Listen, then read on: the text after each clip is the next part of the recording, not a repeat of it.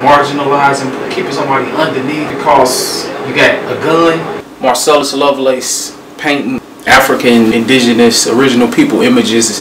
Do that. That's what I did. And I think from that point of view, never separating, always qualifying and making a purpose. As quote unquote black people, Negroes, colored, you really dealing with something that absolutely hates you. Hates you because it doesn't have what you have. They sent out police savages to kill you and hunt you down and destroy you. If you think about the lineage of the ones that's evil, that's doing all this killing, the colonial oppressors, you can't think of one important resource that they create.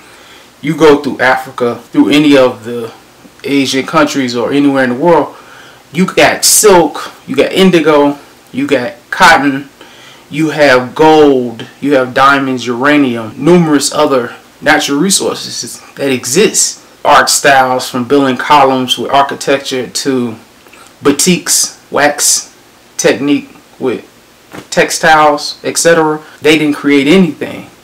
So that's what the hate comes from. You're going to hate something that you're not and that you don't have the ability to be. That's where most of these problems exist. You're dealing with a natural innate hate blown out of proportion. Until you can absolutely just love yourself and do the positive, greatest, best things for yourself, these problems exist. You have to eliminate whatever colonial oppression exists.